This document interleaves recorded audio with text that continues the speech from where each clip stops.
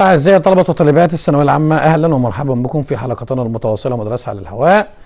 نلتقي اليوم في ختام الفصل الرابع آه، ثورة 23 يوليو 1952 الحلقة اللي فاتت كان في بعض الأسئلة أنا كتبتها وسبتها كالمعتاد بحيث إن إحنا نشوف وندرب مع بعض. أول سؤال نشوف مع بعض كانت قرارات أكتوبر 1951 في صالح القضية الوطنية؟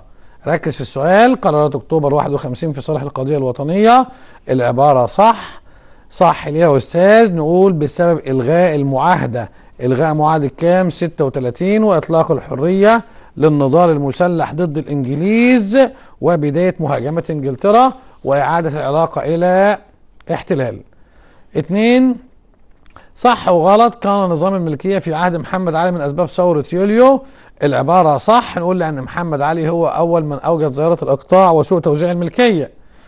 كان هناك علاقة بين أزمة فيضان النيل 1808 وثورة يوليو. العبارة صح لأن في أزمة 8 محمد علي استغلها وغير إجراءات الملكية وصادر الأراضي وقام بتوزيعها مرة أخرى. أيضا فأوجد ظاهرة الإيه؟ الإقطاع.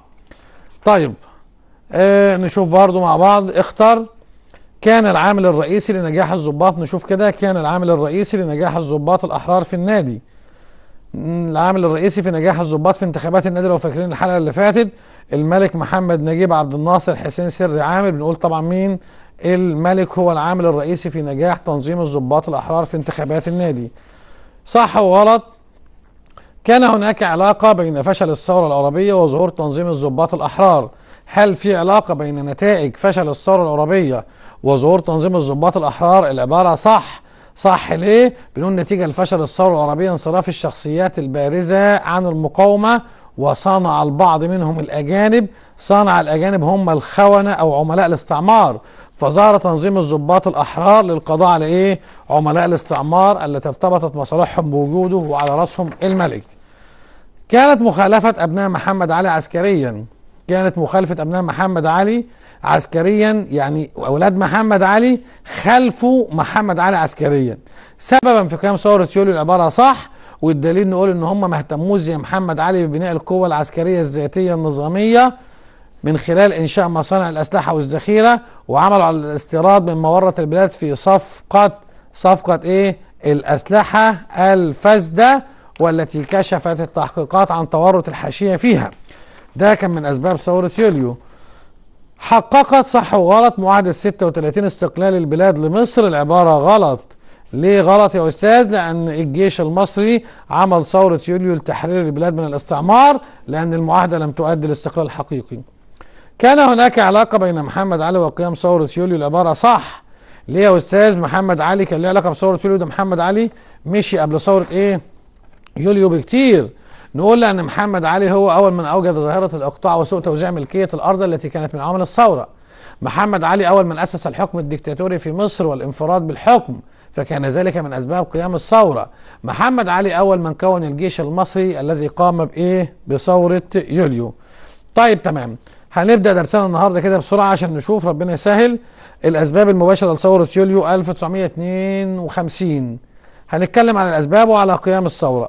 الأسبوع اللي فات أنا خلصت معاكم انتخابات النادي وقلنا في انتخابات النادي معلش كان الوقت ضيق ما قدرتش أقول إيه, إيه أسئلة كتيرة يعني هنقول النهارده. الأسبوع اللي فات قلنا نجح انت إيه في انتخابات نادي الضباط الجيش الضباط الأحرار فوز ساحق لمحمد نجيب برئاسه مجلس إدارة الإيه النادي. الملك طلب من الضباط تمثيل سلاح الحدود بعضو في مجلس الإدارة. كان ده سبب في إيه؟ نخلي بالنا كده في دي بسرعة كده أنا قلتها هعيدها تاني. اجتماع 16 يونيو 1952 ده كان اجتماع مين؟ اجتماع الضباط الأحرار. إيه السبب؟ طلب الملك. الملك طلب إيه؟ تمثيل سلاح الحدود بعضو في مجلس الإدارة. قال لهم خدوا معاكم واحد من سلاح الحدود في مجلس الإيه؟ الإدارة. طيب بنقول اجتمع الضباط وده كان يعتبر أخطر اجتماع عسكري. ركز معايا كده. أخطر اجتماع عسكري بشهادة المؤرخين منذ الثورة العرابية. خلي بالك من الكلام. أخطر اجتماع ليه منذ الثورة العربيه أثبت هذا الاجتماع بما لا يدع مجال للشك. أثبت إيه؟ أن الملك فقد السيطرة على إيه؟ على الجيش. وإيه تاني؟ إن الجيش أسقط ولاءه للملك. فقد الملك السيطرة على الجيش. إزاي يطلب هم يفكروا؟ علاوة على إن هنا بنقول عندي الجيش أسقط ولاءه للملك في رفض الجمعية العمومية الغير عادية. رفضت إيه الجمعية العمومية غير العادية؟ طلب الملك بالإجماع. قالوا لا. الأمر الذي سيؤدي إلى خروج الثورة إلى حيز الإيه؟ العلنية. طب تمام. نقول سؤال تاني كده معانا.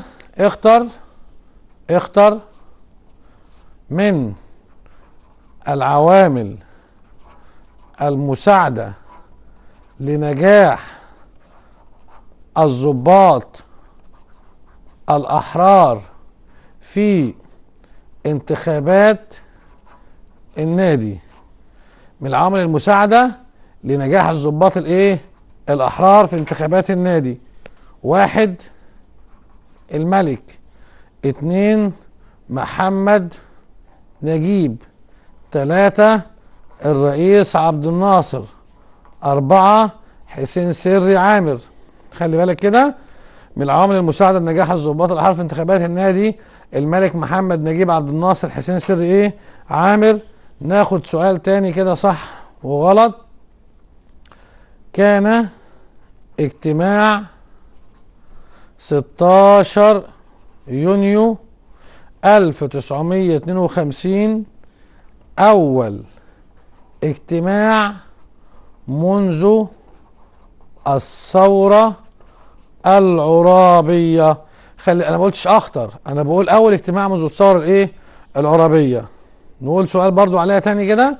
سؤال تاني لما نقول صح وغلط تقررت اجتماعات الضباط بعد الثورة العرابية. تقررت اجتماعات الضباط بعد الثورة الإيه؟ العرابية. أسئلة هي اكتب ورايا عشان نعرف بس الدنيا فيها إيه؟ تتدرب عليها ونخلي بالنا. طيب هنبدأ نتكلم على قيام ثورة يوليو. بص معايا كده بنسميها الأسباب المباشرة لقيام ثورة يوليو. ليه؟ ليه قامت الثورة في هذا الميعاد؟ بنقول حد تنظيم الضباط الأحرار والهيئة التأسيسية للضباط الأحرار منذ بدايتها. البداية كانت سنة كام لو حد فاكر معانا؟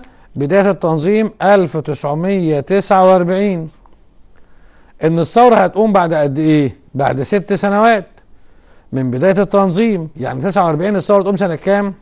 55 ليه الثورة ادت لنفسها فترة كبيرة؟ لنشر أفكار التنظيم داخل كل وحدات الجيش وفروعه. طب الثورة ما عملتش كده. الثورة قامت مبكرة ثلاث سنوات عن ميعادها. قامت إيه؟ 52 تبقى دلوقتي لو سألت وقلت ليه قالوا ست سنين منذ البداية 55 لنشر أفكار التنظيم؟ تنظيم سري هياخد وقت هننشره في الجيش كله. طب الثورة كملت؟ لا قامت مبكرة. كام سنة؟ 3 52 طب ليه بقى قامت بدري عن ميعادها بثلاث سنين؟ نقول عندي أسباب كتيرة. تعدد أجهزة الأمن. في أجهزة أمن خاصة بالملك الحرس الملكي البوليس الحربي البوليس السياسي مخابرات إنجلترا مخابرات أمريكا. كل ذلك كان بيتعقب إيه؟ نشاط الضباط والبحث عنهم اللي هم الضباط الأحرار. يعني كده هيتقبض عليهم لو التنظيم إيه؟ ما عملش ثورة. حريق القاهرة. الحريق كان سنة كام لو تفتكر؟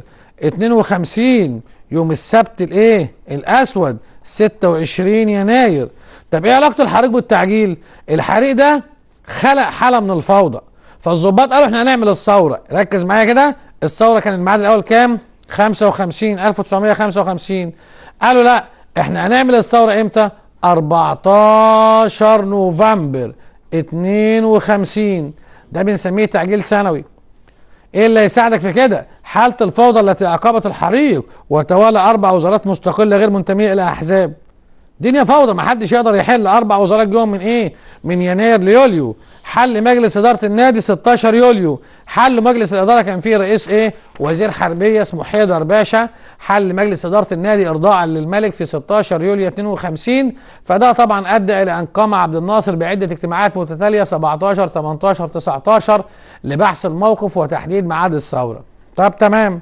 لما نيجي نقول عندي عجل الملك. مين اللي عجل الملك؟ عجل بإيه؟ بإشعال. المعركة مع الضباط الأحرار. طبعا أنا عندي في اكتشاف لأسماء التنظيم.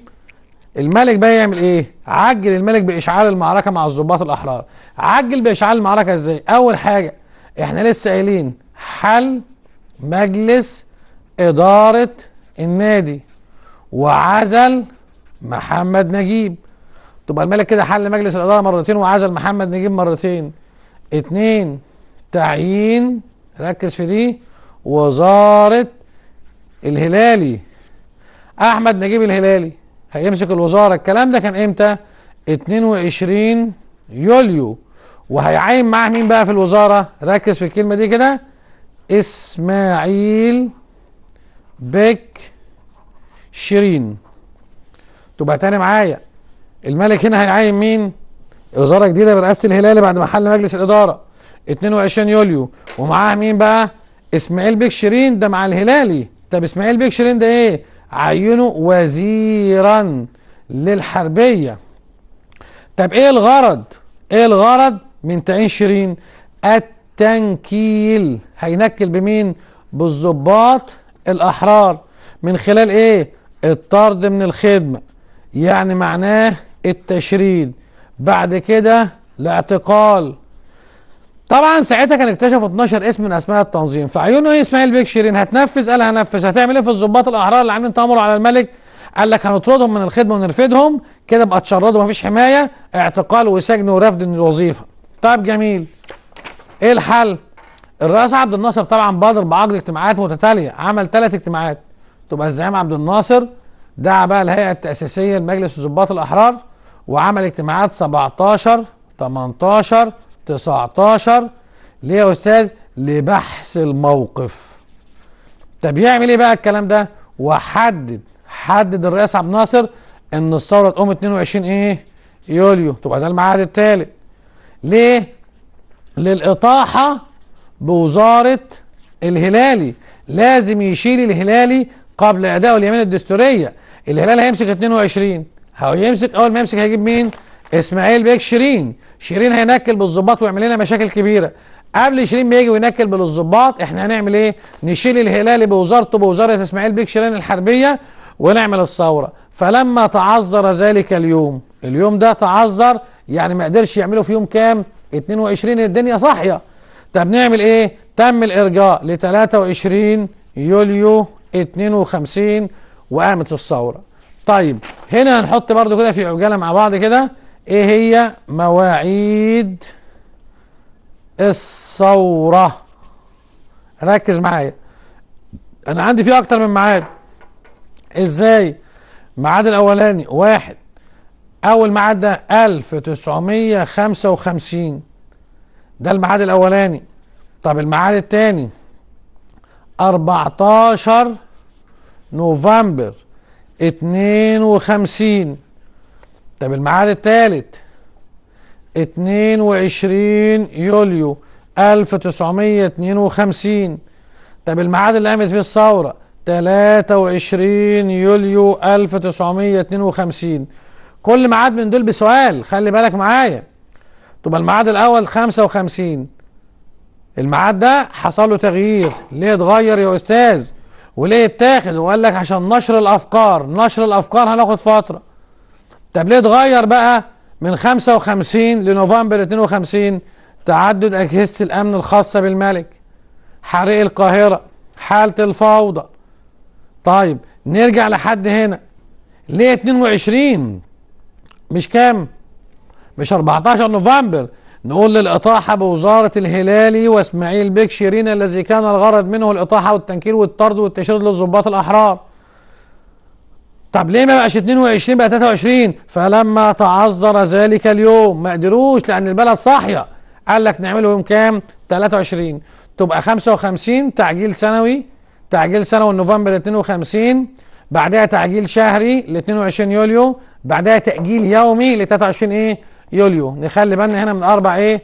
مواعيد دول ونشوف الدنيا فيها إيه كده. نركز مع بعض في الفقرة دي.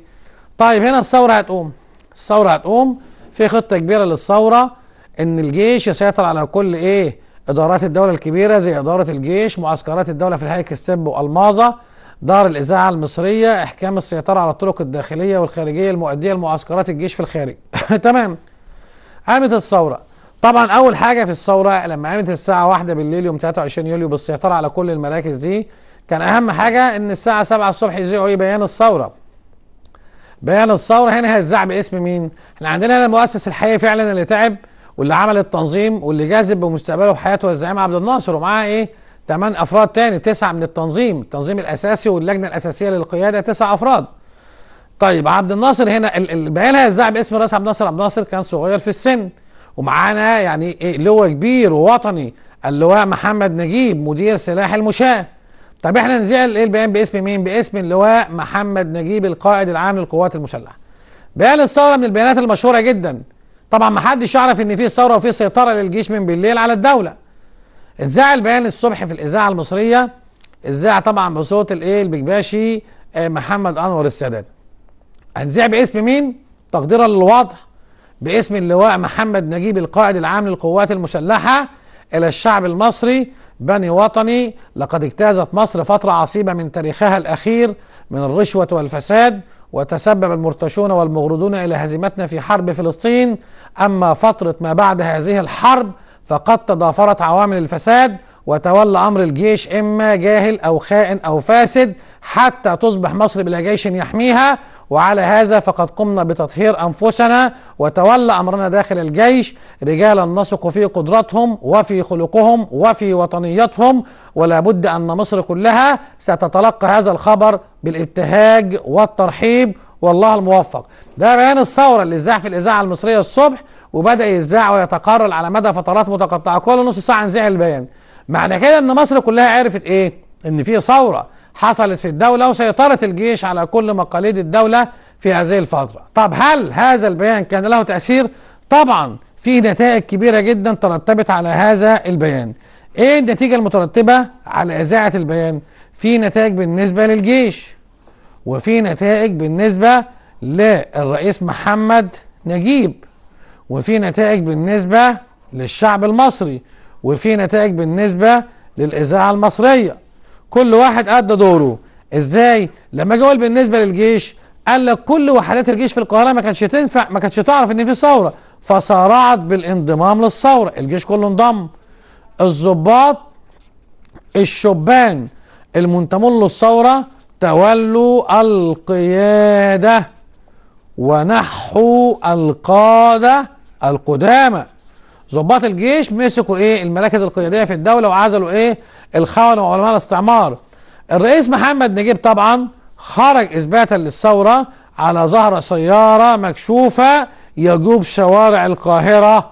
خرج الرئيس محمد نجيب من مقر الجيش آه على ظهر سيارة مكشوفة تحيط به الدراجات البخارية. ده إثبات ودليل إن الثورة قامت وهنا البيان اتذاع باسم محمد نجيب. الشعب المصري طبعا ابتهاج كبير جدا وترحيب بثورة إيه؟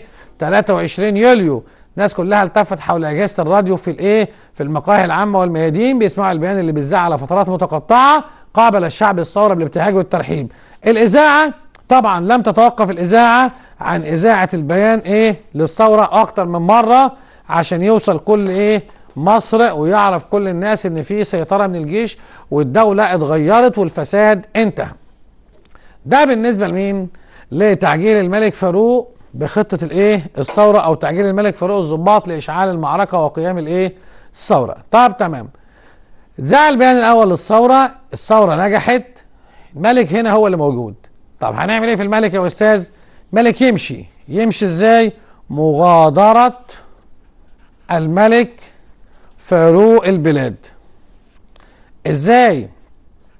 بعد استقالة الهلالي.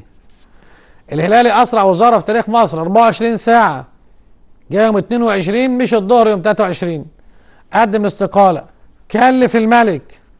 كلف مين بقى؟ علي باشا ماهر بالوزارة. طب إزاي مش أنت قلت الثورة قامت والجيش مسك الدولة؟ ما هو الملك كلف علي ماهر بالوزارة بناء على طلب مجلس قيادة الثورة.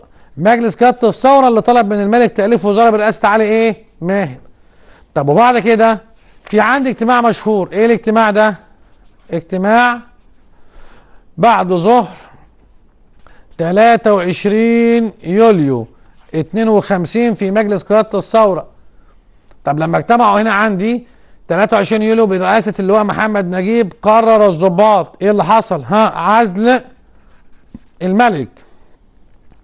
مع إرسال وحدات عسكرية للإسكندرية.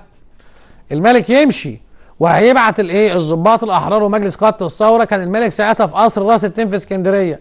هيبعتوا وحدات عسكرية إلى الاسكندريه تدعيما للحامية العسكرية الموجودة هناك من الأسلحة المقاتلة تعاون في عزل الملك. طب تمام. تبقى قرار 23 يوليو عزل الملك. وحدات عسكرية هتروح من مختلف الأسلحة القتالية الاسكندريه تعزيزا للحماية العسكرية لعزل الملك وطرده من البلد يمشي الملك. طيب تمام. إيه اللي حصل بقى؟ علي ماهر راح مقدم وثيقة التنازل. علي ماهر الموضوع مش مستاهل ده كله. إحنا نخلي الملك إيه؟ ما يت إيه؟ ما يتعزلش. إحنا نتنازل عن الحكم. فقدم علي ماهر وثيقة التنازل للملك. الملك اتنازل وبالفعل وثيقة التنازل اللي قدمها علي ماهر أمر ملكي رقم 56 لسنة 52 ده أمر ملكي كتبه علي ماهر للملك فاروق. نحن فاروق الأول ملك مصر والسودان. لما كنا نبتغي الخير دائما لأمتنا ونتمنى سعادتها ورقيها وتجنبها المصاعب التي واجهتها في الأيام الأخيرة قررنا النزول على إرادة الشعب المصري لولي عهدنا الأمير أحمد فؤاد الثاني صدر ذلك في قصر راس التين لصاحب المقام الرفيع علي باشا مال للعمل بمقتضاه ومع غروب شمس يوم 26 يوليو 1952 غرب حكم آخر حاكم من أسرة محمد علي إلى الأبد بعد 147 سنة حكم. نقدر نقول إن الجيش أثبت جدارة كبيرة في التخلص من هذا النظام الفاسد بتنازل الملك لابنه الطفل الصغير ثم رحيلهما نهائيا من مصر. كده مصر ليست جمهورية. ما زالت مصر تخضع للأسرة العلوية لأن إحنا قلنا الملك فاروق ما تعزلش الملك اتنازل للأمير أحمد فؤاد اللي هو أحمد حسن. طب الحل دلوقتي هو مشي. في مجلس وصاية هنا. في مجلس وصاية إزاي؟ مصر لا تزال باسم الأسرة العلوية من 52 ل 53 الطفل الصغير مشي مع أبوه أحمد فؤاد الثاني مين اللي هيحكم هنا عندي؟ هيحكم هنا الضباط الأحرار كوصاية على الملك الصغير. لما نشوف الدنيا هيحصل فيها إيه وده طبعا كان بيتميز بالإيه بالذكاء السياسي لمجلس تنظيم الثورة أو للهيئة التأسيسية لتنظيم الضباط الأحرار. العزل ما جاش هنا فجائي. في ملوك كتيرة في العالم هيزعلوا. إيطاليا الأردن السعودية العراق كل الأنظمة الملكية بتزعل. طب والحل؟ نهدي الأمور كده ونشوف عدم تدخل في حالة إيه آه طرد الملك مع بقاء الدولة باسمه ونشوف اللي هيحصل. تدريجي كده السياسة عايزة يعني إيه شغل هادي شوية مش عايزين آه تداخل وتزاحم في الأحداث وتحصل مشاكل مع الدول المؤيدة للأنظمة الملكية. طيب مش الملك كده خلاص هو ابنه. هنبدأ نتكلم عن إنجازات الثورة. قبل ما نتكلم عن إنجازات الثورة ليها مبادئ. ليها مبادئ والمبادئ تشكل أولويات. إيه هي مبادئ الثورة؟ في عندي ثلاث مبادئ بنسميهم القضاء وثلاث مبادئ بنسميهم الإقامة. والحفظ بالترتيب. ثلاث مبادئ قضاء وثلاثة إقامة. طب القضاء على إيه؟ واحد الاستعمار وأعوانه. اثنين القضاء على الاحتقار وسيطرة رأس المال الأوروبي. ثلاثة القضاء على إيه؟ على ظاهرة الإقطاع وسوء توزيع الملكية. أربعة إقامة إيه؟ عدالة اجتماعية بدل الظلم الاجتماعي اللي كان موجود. خمسة إقامة جيش قوي بدل الجيش اللي كانت بتتولى ادارته إنجلترا وتعمل على إضعافه وتخلفه. إقامة حياة ديمقراطية بدلا من النظام الدكتاتوري وانحلال نظام الحكم. نخلي بالنا من الست مبادئ. الست مبادئ الحفظ بالترتيب بالترتيب. بالترتيب إزاي؟ يعني أنا هاجي أسألك ركز معايا كده ركز معايا الله يخليك. السؤال في رقم المبدأ. مش في اسمه. يعني هقول لك نجح الثورة تقول بتاع المبدأ الثالث بس طبعا انت لو مش حافظ ان المبدأ الثالث القضاء على الاقطاع مش هتقدر إيه تثبته. هنشوف نشوف مع بعض وإحنا شغالين. نبدأ في الإنجازات. الثورة لها إنجازات يا أكتر ثورة في العالم تمتعت بالكثير من الإنجازات. الإنجازات الداخلية. الإنجازات العربية. الإنجازات الإفريقية. الإنجازات الدولية. ركز كده. لا انجازات يعني مش مجرد كلام إحنا بنكتبه كصورة أو هيئة لا لا إنجازات.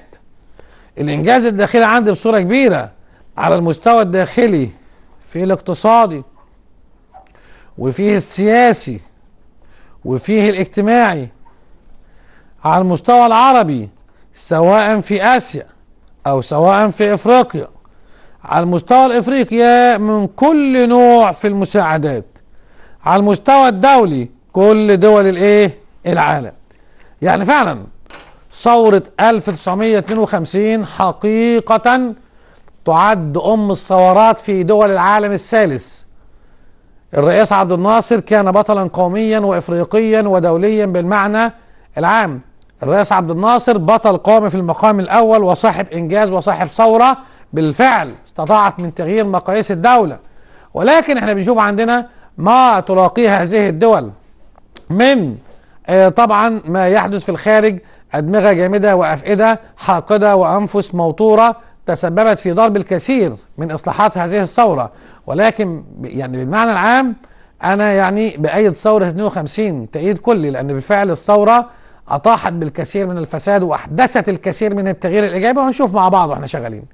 طيب هنشوف عندي كده الإنجازات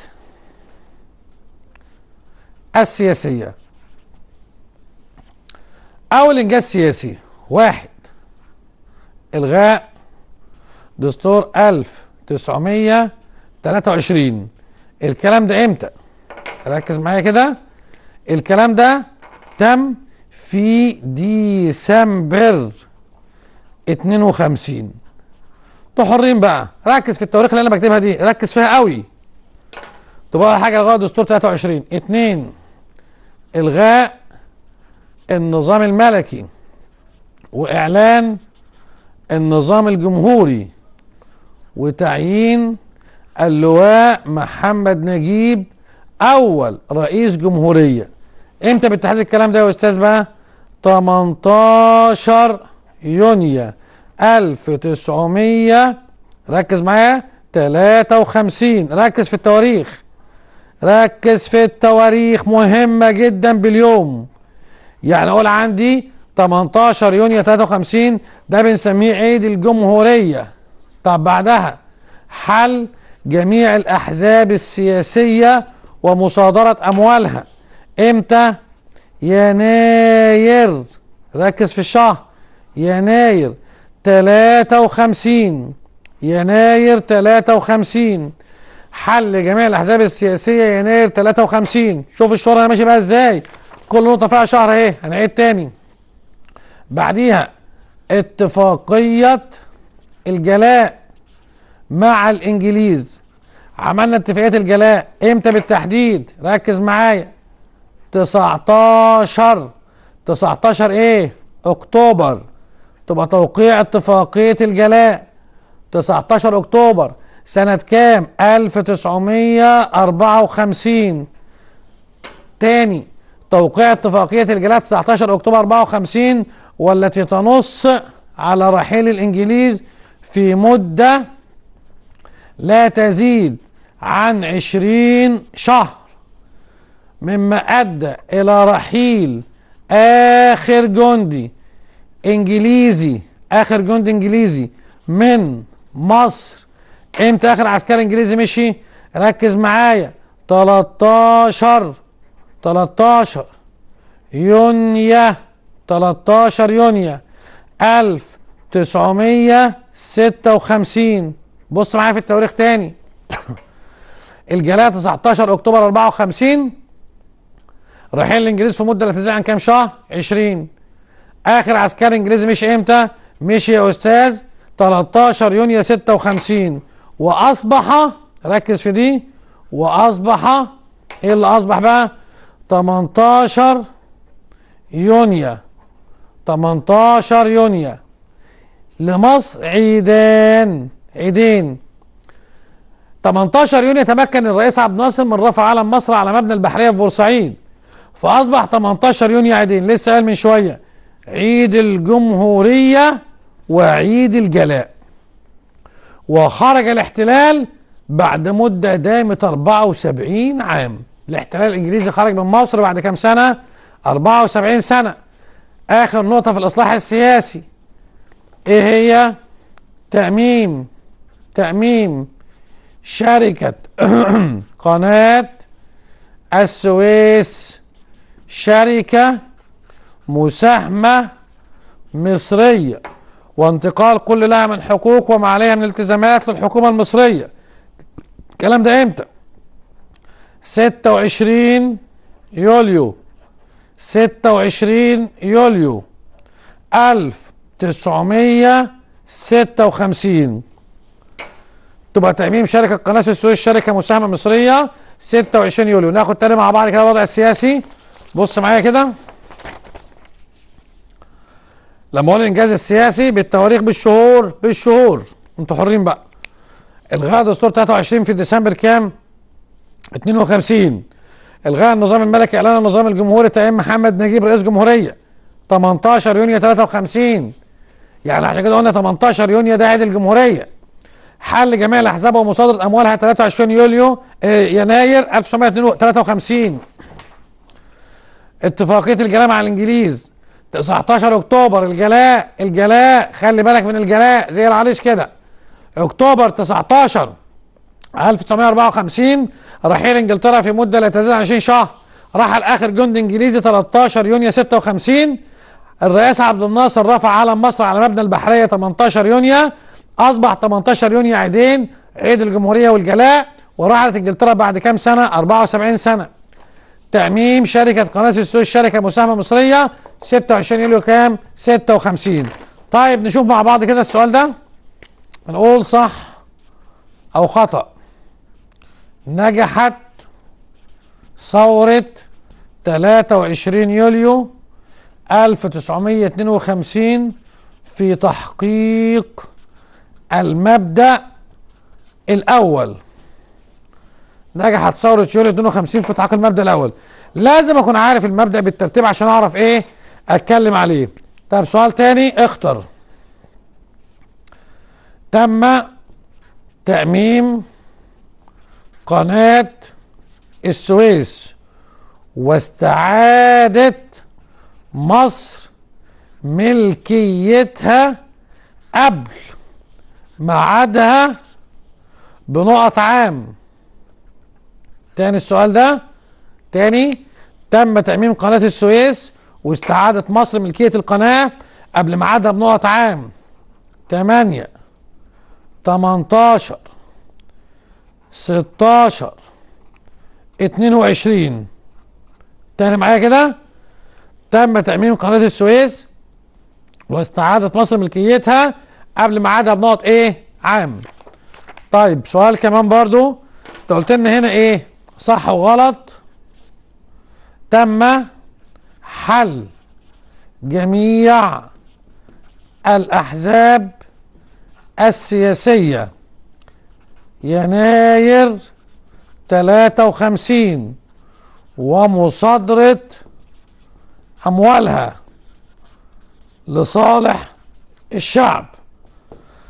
صح ولا غلط؟ صادروا الإيه؟ أموالها فعلا؟ وحلوا جميع الأحزاب برضو صح وغلط قامت ثورة يوليو بإلغاء دستور 23 الكلام ده إمتى؟ في ديسمبر 952 لغوا فعلا الدستور ده ولا ما لغوهوش؟ دي أسئلة على الوضع الإيه؟ السياسي جرب كده وشوف معانا وهنشوف مع بعض زي ما بنحل كل مرة. طب هنبدأ نتكلم على الأوضاع الاقتصادية. واحد في مجال الزراعة كلام بقى بسيط استصلاح الأراضي فين؟ الوادي الجديد ومديريه التحرير إنشاء السد العالي 970 ليقي مصر من خطر الفيضان العالي وخطر الجفاف. دي سهلة جدا أهي. طبعا الثورة عملت على استصلاح الأراضي. أول واحد عمل على استصلاح الأراضي عبد الناصر الله يرحمه في الوادي الجديد. أنا رحت الوادي الجديد. الوادي الجديد بيمثل حوالي 45% من مساحة مصر. حتى هناك معظم القرى ومعظم الأماكن مسميها باسم العواصم والدول العربية تونس الكويت باريس. ماشي؟ مساحة كبيرة جدا اتصلحت في الوادي الجديد. التحرير وغرب النوبرية اللي هي إيه؟ طريق مصر اسكندرية الصحراوي. السد العالي. السد العالي عمل مصلحة كبيرة حمى مصر من خطر الفيضانات العالية التي كانت تغرق وتغطي مساحات كبيرة من الأرض الزراعية مع حماية مصر من خطر الجفاف في حالة نقص الأمطار الموسمية. انت عندك بص معايا كده. آدي نهر النيل أهو. نهر النيل أهو. ركز معايا. هنا كده في عندي في أسوان خزان أسوان. هنا بقى في الجنوب هنا السد العالي. السد العالي عمل بحيرة ناصر وراه بحيرة كبيرة. رحت أنا السد العالي ورحت جنوب بحيرة السد العالي في ناصر النوبة وكل دي كل دي سكان مصريين حوالين الإيه البحيرة. مساحة كبيرة جدا من البحيرة مليانة بالمية. حصل لا قدر الله نقص في المصدر الموسمي. اللي بيعوض ده إيه عندي بقى؟ بحيرة مين؟ ناصر. المية جت كتيرة جدا في المصدر الموسمي. البحيرة هنا إيه؟ بتتملي والسد بيحمي مصر من خطر إيه؟ الفيضان العالي. يعني السد عمل مصلحة كبيرة جدا زود مساحة الأرض وفر إيه؟ كمية مياه من اللي بتضيع في البحر حمى الأرض اللي بتغرق عملنا استصلاح جديد وفرنا الكهرباء أو ولدنا الكهرباء أنشأنا المصانع الجديدة اللي بتعتمد على إيه؟ على الكهرباء في الجنوب زي إيه؟ عندي مثلا كده. مجمع الالومنيوم برضو مصنع الحديد والإيه والصلب. طيب تمام. ده في الزراعة. نشوف كده عندي في الصناعة. واحد عملت الإيه؟ الثورة على زيادة الإنتاج القومي وزيادة الدخل من الصناعة زي توليد الإيه؟ الكهرباء من خزان أسوان. اثنين التوسع في استخراج البترول ومراكز التكرير. ثلاثة مصنع الحديد والصلب قلعة الصناعات الكبرى في الوطن العربي والمنطقة الايه؟ بتاعتنا. عملوا فين؟ في جنوب حلوان في منطقة التبين عمل مصنع الأسمدة. فين؟ في أسوان. اهتم بإنشاء إيه؟ المصانع الحربية. تبقى حديد وصلب. طبعا انت انت مش مش مش مدرك كمية المصانع اللي عملها الرئيس عبد الناصر. عمل مصانع تقيلة وصل عددها أكثر من 100 مصنع. الالومنيوم الحديد والصلب الاسمده المصانع الحربية اللي بتزود الجيش المصري والجيوش العربية بالأسلحة الحديثة. كل المصانع اللي بتحمل رقم 9 9 الحربي 99 63 45 المصانع المتعددة اللي موجودة كده اللي اخش ممكن جامعة حلوان هشوف كمية من المصانع الرهيبة عملتها ثورة يوليو 1952 في منطقة حلوان وجنوب القاهرة. المصانع دي نقدر نقول إن هي من أعظم المصانع اللي وفرت السلاح والذخيرة لمصر وخلت مصر في الفترة دي وصلت إلى القمة في تصنيع السلاح وتصديره للدول العربية وتقوية الجيش المصري. توسع الرئيس عبد الناصر في التعليم الفني ومراكز التدريب المهني. طبعا الرئيس عبد الناصر لما عمل المصانع دي عاوز ايد عامله كتير تعليم فني. مصانع تدريب إيه, مراكز تدريب مهني يعني أنت بتدخل المصنع هنا كتلميذ زي الثانوي الفني كده بس بتخش في المصنع نفسه.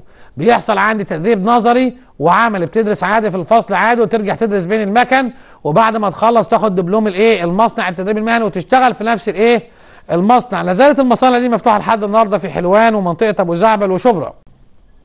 عندي بنقول اهتم بالصناعات القائمة يعني الصناعات القديمة اهتم بيها. وادخل الصناعات الايه؟ الجديدة. تمام. ده بالنسبة للصناعة آه في مصر. طيب. طبعا أنا قلت لك قبل كده أنا بخاف من الصناعة. أنا شخصيا كمدرس بخاف من الصناعة. آه أنا ألفت لها أسئلة كتيرة. في السنين اللي فاتت دي أنا حاولت أدخل الصناعة في كذا سؤال استنتاجي وبقت أسئلة مش ظريفة لأن الربط فيها بقى كبير شوية. ده الكلام ده كان زمان على النظام القديم. لا دلوقتي طبعا إحنا شفنا الصناعة وبالذات أبشع الصناعات عندي. صناعة خلفاء محمد علي والربط الكبير اللي بيحصل فيها وبين معاهدة لندن وبين الأحداث اللي حواليها. الصناعة دي نفس الكلام. الصناعة دي مهمة. اتكلم بس عن التجارة ونرجع نحط الأسئلة اللي هنغطي بيها الكلام ده. في مجال التجارة اهتم الرئيس عبد الناصر بالتجارة. إزاي؟ فتح أسواق خارجية. أو بنقول توجيه تجارة مصر للعالم الخارجي. تمصير كافة الشركات وكالات الاستيراد والتصدير. ماشي؟ كافة البنوك والمؤسسات الأجنبية. تولت العناصر المصرية الإدارة في هذه الشركات من رجال الاقتصاد الإيه المصري. يعني فتح أسواق خارجية للعالم الإيه الخارجي وجه تجارة مصر للعالم الخارجي بره آه بدأ في تأميم وتمصير كافة شركات الاستيراد والتصدير. تأمين آه تولت العناصر المصرية الاداره في هذه الشركات زي البنك الأهلي. ده بنسميه تمصير الاقتصاد وتمصير الإدارة الاقتصادية. نبدأ بقى بسم الله الرحمن الرحيم. ركز معايا. أي سؤال هكتبه هنا في الصناعة. وهنكمل الإيه التجارة برضو معايا. نركز فيه. واحد. نقول صح وغلط. قامت ثورة يوليو. قامت ثورة إيه؟ يوليو. 52 بتوليد الكهرباء من السد العالي اللازمة للصناعة. ده واحد. اتنين. اتنين. صح وغلط أو هنخليه لكم إيه؟ نخليه اختياري نقول ده ونقول ده. كان هناك علاقة بين الاحتلال الإنجليزي. وخدمة الصناعة بعد ثورة 23 يوليو. هل كان في علاقة بالاحتلال الإنجليزي وخدمة الصناعة بعد ثورة 23 إيه؟ يوليو؟ ده كان موجود. نشوف مع بعض. صح وغلط؟ نجحت ثورة يوليو 52 في تحقيق المبدأ الرابع. نجحت ثورة يوليو في تحقيق المبدأ الرابع من خلال الصناعة نجحت ثورة يوليو في المبدأ الكام؟ الرابع في الصناعة اختر تشابهت إنجازات ثورة 52 في الصناعة مع ثورة إيه 52 في الصناعة. إنجازاتها تشابهت مع ركز معايا كده. واحد عباس سعيد إسماعيل توفيق. تاني عباس سعيد إسماعيل توفيق. برضو نقول تشابه فكر يوليو 52 تشابه فكر يوليو 52 في الصناعة مع واحد محمد علي اتنين مينو تلاتة سعد زغلول أربعة سعيد. تشابه فكر ثورة يوليو 52 في الصناعة مع محمد علي مينو سعد زغلول سعيد. خلي بالنا. نقول برضو. صح وغلط. عملت ثورة يوليو 52 على توفير كبير لمصادر الطاقة. ثورة يوليو كانت بتحاول توفر بقدر كبير مصادر الايه؟ الطاقة. برضو نقول تشابه الفكر الصناعي في خدمة الوضع الاجتماعي. تشابه الفكر الصناعي في خدمة الوضع الاجتماعي لثورة 52 مع محمد علي اتنين سعيد تلاتة إسماعيل أربعة مينو. برضو لما نيجي نقول صح وغلط فتحت ثورة يوليو أسواق لمصر في الخارج لبيع منتجات مصر. أنا حطيت لك الإجابة في السؤال برضو هنا قفلت عليك شوية في ده. تاني كده معايا. فتحت ثورة يوليو أسواق لمصر في إيه؟ الخارج لبيع منتجاتها. تشابهت ثورة آخر سؤال ده خلاص تشابهت ثورة يوليو. في حاضر هنختم أهو في التجارة مع سياسة واحد كرومر جورست كيتشنر وينجت تشابهت ثورة يوليو في التجارة مع سياسة كرومر جورست كيتشنر وينجت أعزائي الطلاب معلش الوقت خلص سريعا. الأسئلة دي إن شاء الله الأسبوع الجاي بإذن الله هكملها معاكم. مع أرق تحياتي وأجمل أمنياتي لكم. بالنجاح والتوفيق. هذا أحمد صلاح يحييكم. والسلام عليكم ورحمة الله وبركاته.